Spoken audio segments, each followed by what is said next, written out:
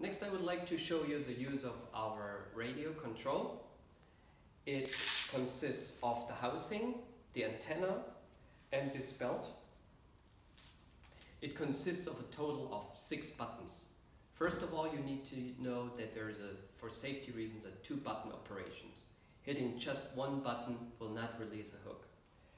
You will always have to use first the activation button and then confirm by either a color button, in this case blue, or confirm by the all color button to release all hooks at the same time.